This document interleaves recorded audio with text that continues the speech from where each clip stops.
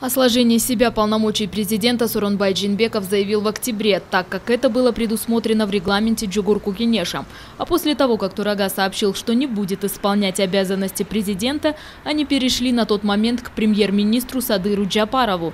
Позже для участия в президентской гонке он сложил себя полномочия главы правительства путем устного публичного заявления, как того требует регламент, согласно части 2 статьи 135. Садыр Джапаров так же, как и остальные кандидаты в президенты, имеет законное право, предусмотренное ныне действующим законодательством Кыргызской Республики, баллотироваться на высший пост, на пост президента Кыргызской Республики.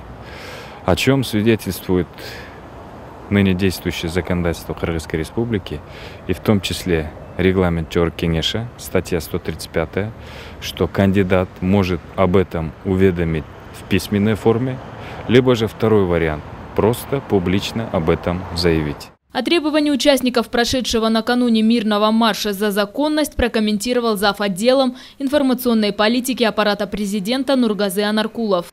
Со стороны государства в свое время были даны ответы и разъяснения на все требования, озвучиваемые участниками марша, в том числе по законности участия в выборном процессе отдельных кандидатов.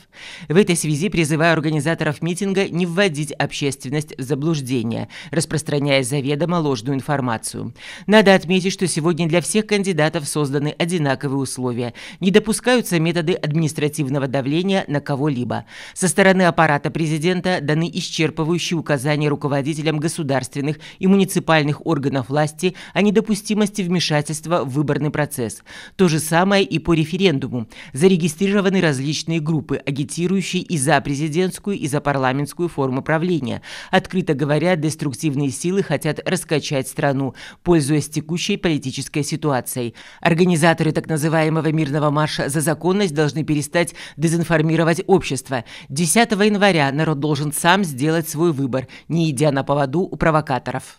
Отмечено также, что администрация главы государства дала руководителям гос- и муниципальных органов власти исчерпывающие указания о недопустимости вмешательства в выборный процесс. То же самое касается и референдума. Елена Ткаченко, Яна Дюшикеева Сентура Быкеев, Алато 24.